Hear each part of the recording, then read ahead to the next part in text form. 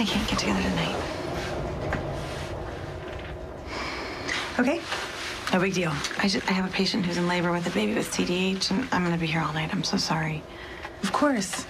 I understand. Just I was looking forward to it, is all.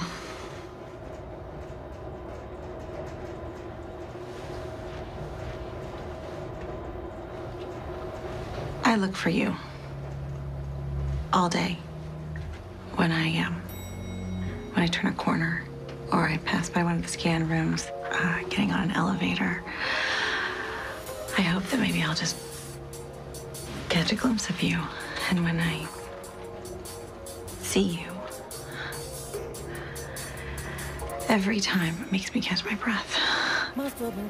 Just a little. And my heart speeds up, my palms sweat.